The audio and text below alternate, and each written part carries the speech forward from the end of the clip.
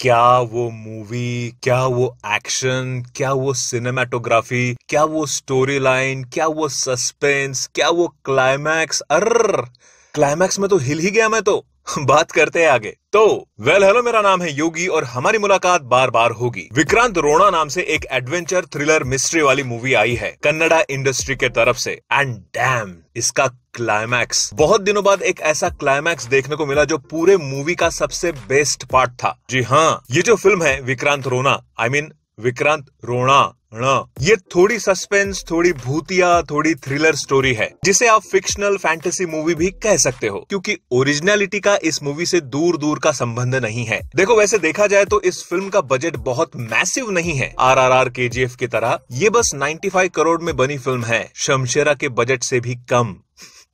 लेकिन इस फ़िल्म को ओवरऑल देखने के बाद आपको यकीन नहीं होगा कि ये सिर्फ़ 95 करोड़ की फ़िल्म है। इस फ़िल्म के विजुअल्स वीएफएक्स और सिनेमाटोग्राफी आपको हमारे इंडियन फ़िल्म इंडस्ट्री का one of the best experience देगा। इस फ़िल्म की कहानी लगभग 50-60 साल पहले की है, जो एक गाँव से जुड़ी हुई है, जहाँ कुछ अनएक्सपेक्टेड इवेंट्स हो रहे हैं और उस इवेंट को संभालने और सुलझाने के लिए होती है विक्रांत रोना की एंट्री और वहाँ ऐसी होती है असली सस्पेंस की शुरुआत, जो सस्पेंस आखिर तक बना रहता है। So more on it is one of that film जो आपको आपको सस्पेंस वाले जॉनर में बहुत पसंद आएगी। इस फ़िल्म में थ्रिलर और सस्पेंस के साथ साथ थोड़ा हॉरर एलिमेंट भी है। कुछ एक जगह तो एकदम जम्प स्केयर मोमेंट है। एंड इस फ़िल्म का म्यूज़िक एंड बीजेम आपको उस सस्पेंस, थ्रिलर एंड हॉरर का फील करवाता है। ऊपर से किच्चा सुदीप सर की एक्टिंग और उनकी आवाज़। यार, आवाज़ से याद आया। कहीं कहीं ना मुझे ऐसा लगता था कि यार, इनको सलमान खान ने डब तो नहीं किया है। वही टोन वही बोलने का स्टाइल आप देखोगे तो आप ज़रूर नोटिस करोगे सेम चीज़। अब अगर फ़िल्म स्टोरी प्लॉट कॉन्सेप्ट से लेकर क्लाइमैक्स तक अच्छी हो तो उसकी छोटी मोटी गलतियाँ कहीं ना कहीं छिप जाती है। या कह सकते हैं कि नजरअंदाज हो जाती है। तो इस फ़िल्म में भी बहुत कुछ ऐसी एक बातें है जिससे एक आम इंसान या ऑडियंस को फ़र्क नहीं पड़ने वाला। क्लाइमैक्स देखने के बाद, क्योंकि स्टार्टिंग से लेकर एंड तक आप इस फ़िल्म को एंजॉय करने वाले हो। हो सकता सकता है कि स्टार्टिंग में, यानी फ़र्स्ट हाफ़ में आपको मूवी ना समझ में आए। कहीं कहीं पर आपको ये मूवी स्लो भी लगेगी। इवन मुझे भी लगी। इवन इस फ़िल्म का जो टोन है ना, वो काफ़ी डार्क है। ऊपर से थ्री में है मूवी तो और भी ज़्यादा डार्क लगती है। तो कुछ एक सीन में बहुत ज़्यादा कंफ्यूजन भी हो सकता है। लेकिन अदर हाफ़ में आपको समझ में आएगा की वो बिल्डअप कितना ज़रूरी था। कहीं कहीं पे आप कंफ्यूज हो जाओगे, साला ये चल क्या रहा है? किस पर भरोसा रखा जाए? बट वेट फॉर इट दोस्तों। वेट फॉर इट पेशेंस रखो. लास्ट में आपको सुकून मिलेगा. लास्ट के क्लाइमैक्स सीन ने जो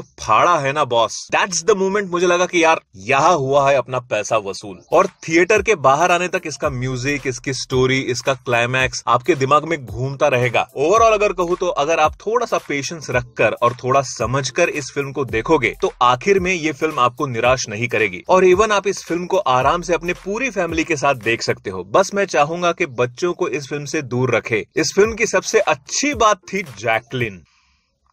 नहीं सच में। क्योंकि उसका इस फ़िल्म में बहुत बड़ा रोल नहीं है। थैंक गॉड सी मुझे कोई प्रॉब्लम नहीं है जैकलिन से। बट मैं एक suspense thriller cum adventure movie देखने गया था जिसमें बस मुझे ये डर था कि रोमांस या लव के चक्कर में मूवी का ओरिजिनल प्लॉट छोड़कर कुछ और ही न दिखाने लग जाए। बट थैंकफुली मूवी अपने स्टोरी लाइन पर पूरी तरह जमी हुई थी। और मुझे पसंद आई। ओवरऑल ये एक वन टाइम वॉच मूवी तो ज़रूर है। बस इसकी लेंथ कम हो जाती या दो गाने कम भी डाल दिए होते तो भी चल जाता। क्योंकि गाने एकदम सो सो है एक दो को छोड़कर, जिसका फ़िल्म के साथ कनेक्शन नहीं बन पाता। मेरी तरफ़ से इस फ़िल्म को 3.5 आउट ऑफ़ 5 स्टार्स मिलते हैं अगले वीडियो में।